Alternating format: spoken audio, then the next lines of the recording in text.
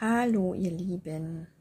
Habt ihr auch so Tage, wo euch alles abfuckt und ihr echt wie überhaupt nicht in der Lage seid, liebevoll zu sein oder liebe Worte, sondern alles, was ist, überfordert euch total und ah, und dann merkt ihr das selber, dass es so richtig ein abfuckt halt und äh, weil man Schmerzen hat und ja, man und dann spricht man extra noch, dass man vielleicht ein bisschen Verständnis bekommt und so, aber das ist echt krass.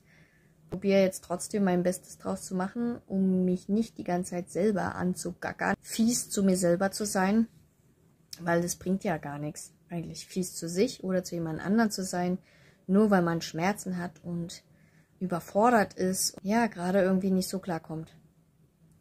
Wie ist denn das bei euch, wenn ihr vor euren Tagen seid? Kriegt ihr das auch mit, mit dieser Selbstliebe, Selbstfürsorge, Grenzen zu setzen, um Hilfe vielleicht sogar zu bitten? Das würde mich mal voll interessieren. Vielleicht traut sich der eine oder andere, mir einen Kommentar zu setzen oder halt wirklich darauf zu antworten, weil ich glaube nicht, dass ich die einzigste Frau im Universum bin, die mal austickt irgendwie in einer Phase, wo man sich selber gar nicht leiden kann und damit auch Schwierigkeiten hat, sich so anzunehmen, wie man gerade ist, weil das halt so schwierig ist, weil man merkt, so man ist gar nicht äh, wie mit dem Herzen verbunden und so wie sonst, sondern es ist so wie, als fehlt dir was und man ist so hilflos. Ja, und man fühlt nicht mehr so viel. Das ist ganz komisch. Es ist echt schwierig zu probieren, zu beschreiben. Sonst fühle ich mich so voll und kann voll viel geben und so. Und jetzt ist es so, äh, ich fühle mich die ganze Zeit wie ausgelaucht und auch destruktive Gedanken teilweise, ja, wo ich mir denke, was wollt ihr eigentlich von mir? Wer seid ihr? Was wollt ihr? Also so halt, ne? Ja, es ist echt interessant. Gibt's bei euch die Phase auch, die Frau mit ihrem Zyklus? Spreche ich damit an, weil ich halt auch eine Frau bin. Also ich weiß, dass der Mann auch einen Zyklus hat, aber der ist eigentlich an einem Tag, 24 Stunden. Und wir haben es halt in einem Monat. Genau, es würde mich echt wissen. Also an liebe Frauen, an euch da draußen, gebt mir gerne mal Feedback, wie es bei euch so ist. Ich würde mich freuen. Und eigentlich will ich nur in den Arm genommen werden und Verständnis bekommen, vielleicht eine Wärmflasche und einfach mal, dass ich so abgefuckt sein darf quasi halt, ne? Dass ich einfach mal so angenommen werden möchte. Man muss ja nicht immer stark sein, wisst ihr? Ja, ich denke, ähm, es ist auch mal okay, sich so zu zeigen. Einfach mal so ein bisschen Müll halt, ne? Ihr glaubt ja gar nicht, wie glücklich ich bin, mich jetzt mal so zeigen zu können, weil ähm, ja, dass man auch vielleicht mal mitbekommt, hey, Chiara geht's auch mal nicht gut. Und da ist nicht immer Sonnenschein, weil das Wetter ist ja auch nicht nur Sonnenschein. Und ja, ähm, ich glaube, das ist total wichtig, dass man sich auch mal so zeigen kann.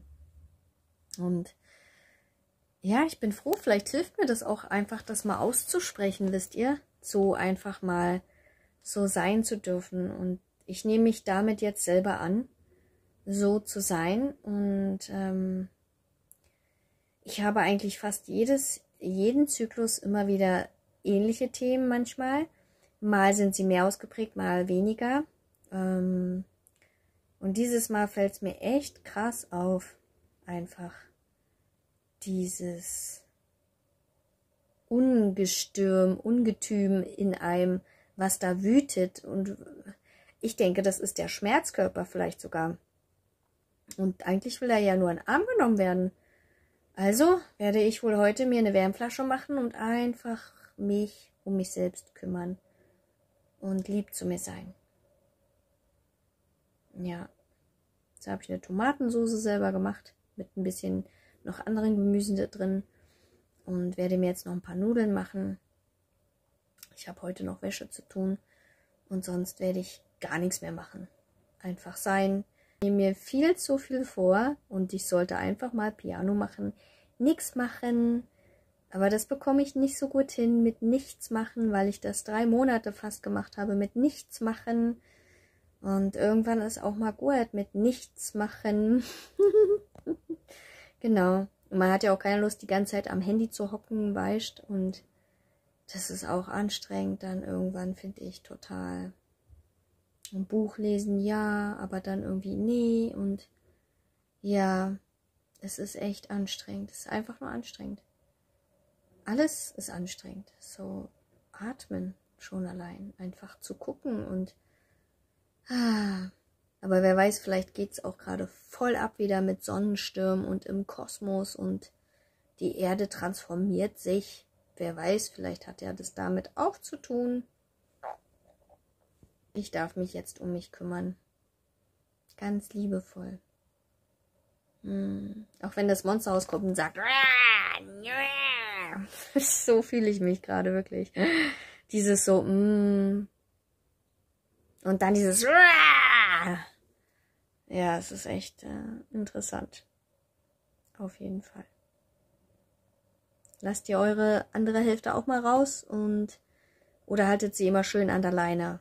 Und wie ist denn das bei euch? Das würde mich mal interessieren, ob ihr auch einfach mal nicht gut drauf sein könnt oder auch mal wie sagt, hey, mir geht's heute scheiße. Ist das erlaubt? Mal heute geht's mir scheiße zu sagen oder sollte man das nicht sagen? Ja, und ich finde es halt interessant, wenn jetzt dann so dieser Schmerzkörper, dieses Monster so use kommt und man sich kaum unter Kontrolle hat. Ähm, ist es schon mal der erste Schritt, es zu erkennen, was ich jetzt gerade tue. Und ich bin so happy, dass ich es jetzt endlich erkannt habe, weil das schon sich sehr merkwürdig anfühlt, muss ich sagen. Und ich fühle mich auch nicht so wohl. Und ja, ich merke, ich ziehe mich dann auch gerne zurück einfach, damit ich nicht noch jemand anderen damit belästige, weil ich komme ja schon selber nicht darauf klar. Wie soll es denn da jemand anderes dann hinkriegen, ne? Außer der ist total voller Liebe und kann ganz viel geben, dann geht es vielleicht, ja oder Gleichgesinnte, wo man einfach weiß, hey, was braucht die Frau jetzt gerade oder so halt. Ne? Das kann natürlich auch sehr hilfreich sein. Ja, ist sehr spannend. Ich bin jetzt echt happy, dass ich das jetzt einfach mal so auch aufnehmen kann, weil mir das jetzt in dem Zyklus echt wieder richtig krass auffällt und ich bin so dankbar. Das ist für mich gerade voll die Erkenntnisreihe und auch Geschenke und ja, es ist mega schön. Ich fange jetzt gerade an, es anzunehmen und in die Vergebung zu gehen und dann auch wie friedlich wieder zu werden mit mir selbst auch. Weil ich mache ja eh alles in meiner Geschwindigkeit und lass mich da gar nicht mehr verirren oder stressen. Ich bemühe mich so gut ich kann, das wirklich ähm, einfach wie äh, loszulassen halt einfach, ne? Mich zu befreien davon und ja, das finde ich mega toll dass ich durch die Unfälle ähm, da wie was sich gelöst hat oder und wie ihr mit euren Schmerzkörper umgeht und wann der da ist vor allem halt, ne? Das würde mich auch mal interessieren. Wann ist euer Schmerzkörper da? Nimmt ihr euren Schmerzkörper wahr? Ja, ich bin jetzt echt mega dankbar, dass ich mit mir selber Gespräche führe und feststelle, dass der Schmerzkörper gerade total an ist und ich, mich würde es von eurer Seite interessieren, egal ob Mann oder Frau. Ähm, bekommt ihr euren Schmerzkörper mit und wie geht ihr damit um? Das würde mich echt interessieren. Ich verarbeite gerade ganz viel und ja, die Erkenntnisse flattern so rein und das ist mega spannend für mich. Es ist ein Riesengeschenk gerade. Auch wenn innerlich es richtig tobt und bebt und halt ausflippen könnte und nur rumschreien könnte, weil es innerlich so aussieht halt in mir. Und ja, es ist echt spannend.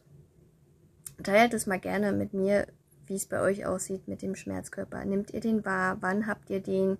Wie kommt er zu euch? Könnt ihr ihn wahrnehmen? Liebe Grüße und einen schönen Abend an euch alle.